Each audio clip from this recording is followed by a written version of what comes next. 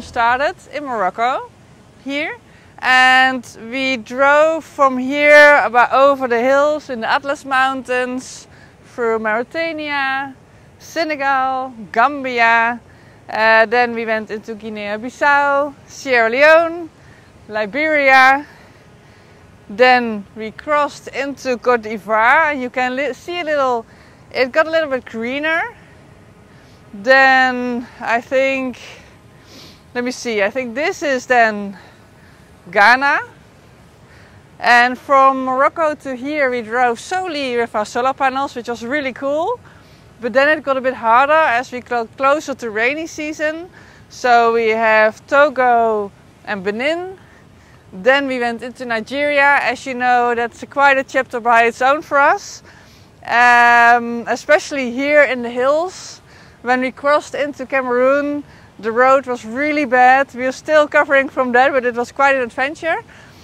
Uh, then we entered Cameroon. Really lush, really green, uh, difficult to solar charge, but we did set our record here of solar charging in one day.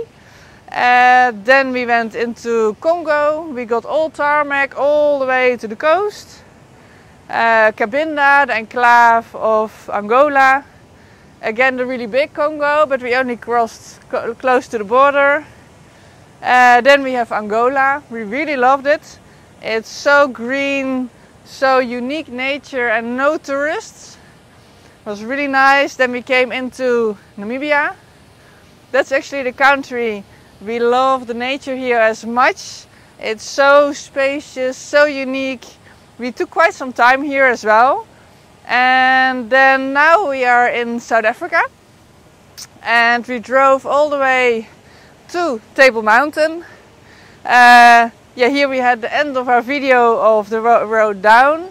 And now we are here on the tip, on the most southern point of Africa at Cape Agulhas. And uh, yeah, from here we will turn the car around and go up again. So, as Renske said, we are here at the most southern point of the continent Africa, Cape Agulhas. From here we will follow the coastline um, and from there on we go to Lesotho. It's one of the highest countries in the world. If you go a little bit lower with the camera you can see that it's really high.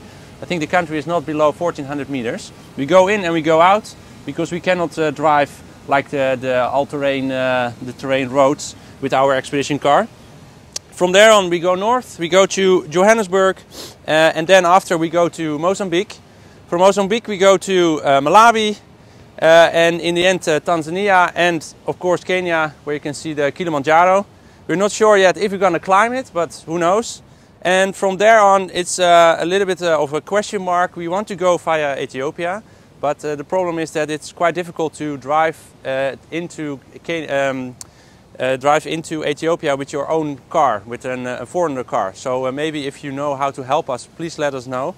Uh, and from there on, we will ship our car probably to like the other side of the water. So Saudi Arabia, uh, for example, we're not sure about that. But yeah, the road from there all the way back to the Netherlands will take roughly six to eight months. So maybe the same time, probably a little bit less, but also depends on what we see on the road.